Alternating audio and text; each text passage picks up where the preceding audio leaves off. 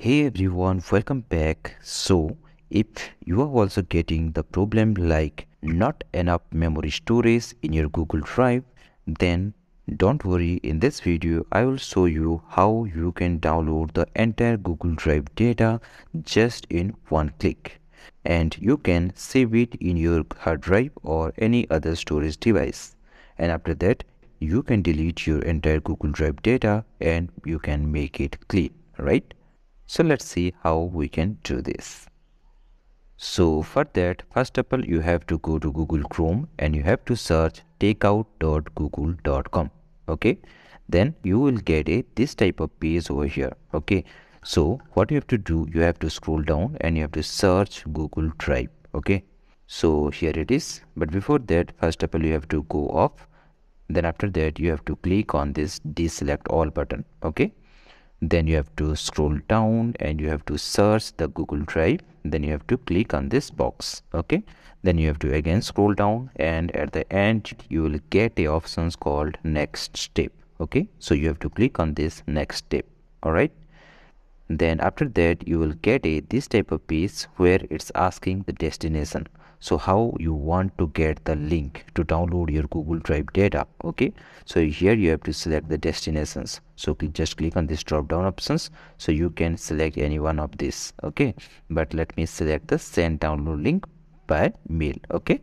So i'm selecting this one. Then in the frequency options you have to select export once okay because you are going to export your entire google drive data just in one click right? Then in the file type you have to select the zip file okay?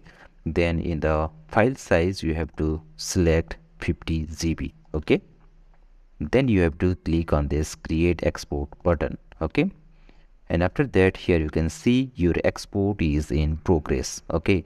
It means google is creating a copy of file from drive this progress can take long time. It may be a day or a hour okay to complete all right? So you have to wait for one to two days to get the download link of your google drive data all right? But don't worry it will not take hours or days. Basically it will provide you the download link of your google drive data within one days okay? And you can get your download link of your google drive data by your email account and after a few hours or within one days you will get a this type of email in your gmail account okay? So here you can see your google data is ready to download right? So just click on this email and make it open right? So now here you can see we have a options called download your files right? So just click on this download your file options. Then it will ask you to sign in your gmail account okay? Then click on next and now here you can see our download is in progress right? So i don't want to download so let me pause it okay? So in this way you can download your entire google drive data just in one click okay? So thanks for watching